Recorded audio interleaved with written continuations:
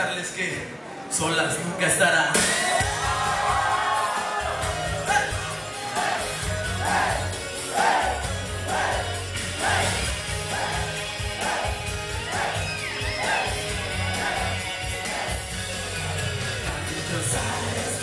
Muchas veces lo sé.